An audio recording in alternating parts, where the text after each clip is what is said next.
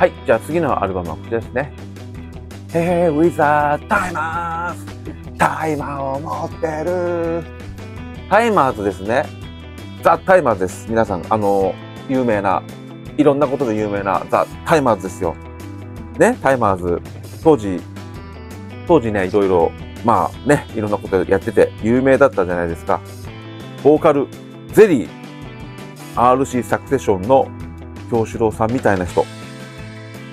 ギター、ポッピー、モジョクラブの三宅さんみたいな人。フットベース、ボビー、ヒルビリーバップスの、えー、川上さんみたいな人。ドラム、パー、モジョクラブの杉山さんみたいな人がやってるバンドが、ザ・タイマーズです。でね、タイマーズは当時からいろいろね、何かと話題だったじゃないですか。でね、僕がね、とね、見たのがね、テレビね、の、NHK のロックンロールバンドスタンドだったと思うんですけど、ロックンロールバンドスタンドって、あの日本中あっちこっちでライブをやってるのを中継してるじゃないですか。コンサートやってるの、ロックンロールバンドスタンド。88年から89年みたいな感じね。年またぎ。で、88年から89年ってなんか年またぎで、それを NHK が生中継してたじゃないですか。あれ BS でやってたのかな？ちょっと。ちょっとわかんないですけど、で、それ見てたらタイマーズって言って、お、タイマーズだ。そしたらね、あの急に、チャルメラだったかな ?CM ソング歌い出したんですよ。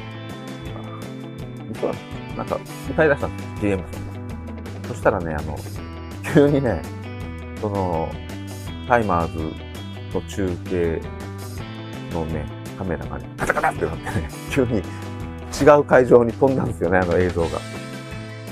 NHK ってあの、商品名のためじゃないですか。それでだと思うんですけど、私は、え、なんでと思ったんですけどね。うん。まあそういうことだったんだと思うんですけど。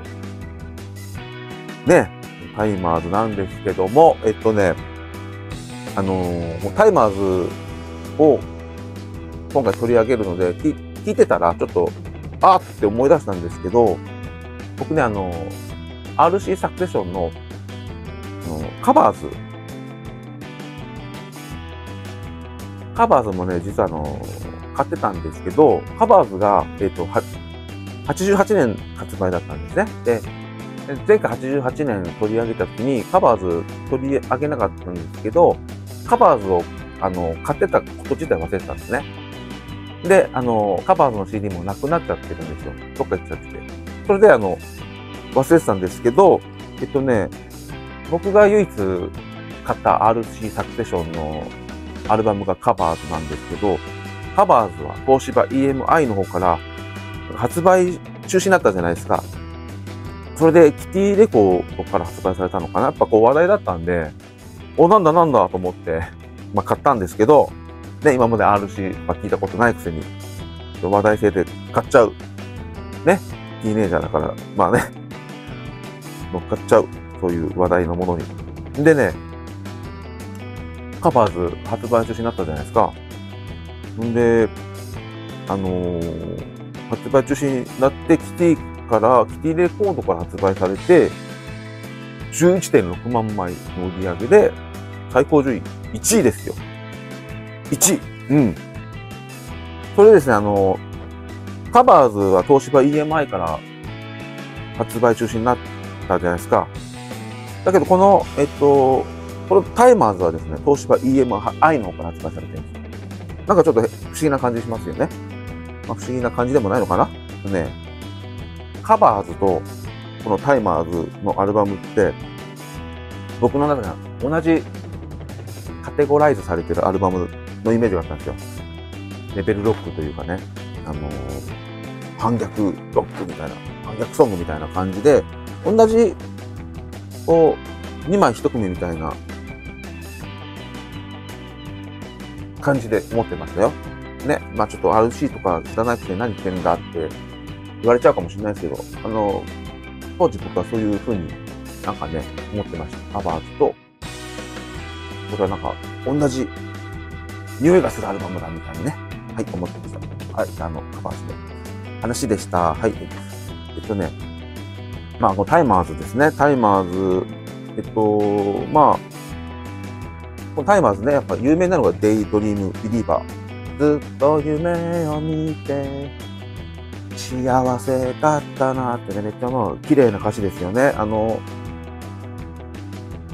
セブンイレブンかなんかでね、確か CM。あとなんか、もっとぐらいあったのかな。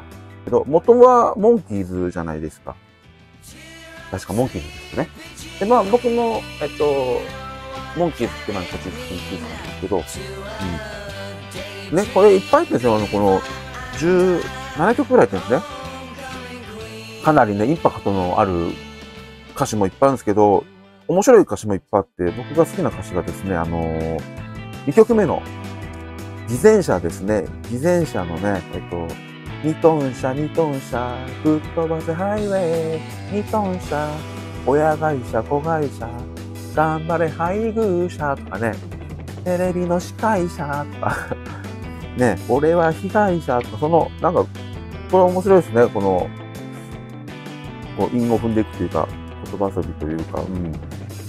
一番好きな曲というか、一番好きな流れがあるんですけど、それがね、15曲目のね、芋って曲があるんですけど、芋、芋。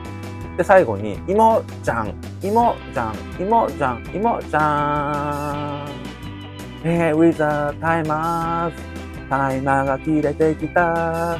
そろそろ終わりだ。やってられねえぜ。えー、with the timer, ララララってね。この流れがすごい僕大好きなんですよね。そして17曲目に、あの、ベンチャーズの、 Walk Don't Run。で、まあ、この30秒ぐらいで終わるという。まあ、ほぼ全曲いいですよね。あの、ロックあり、え演歌みたいな曲もあり、デイドリーム、ビリーバーみたいな曲もあったりして、ほぼ、ほぼい、もう17曲あって、ほぼいい曲ばっかりの、この、じゃあタイマーズのファーストアルバムですね、の売り上げを見てみましょう。1989年11月8日発売ですね。ザ・タイマーズの売り上げは15.6万枚となっております。最高順位が3位です。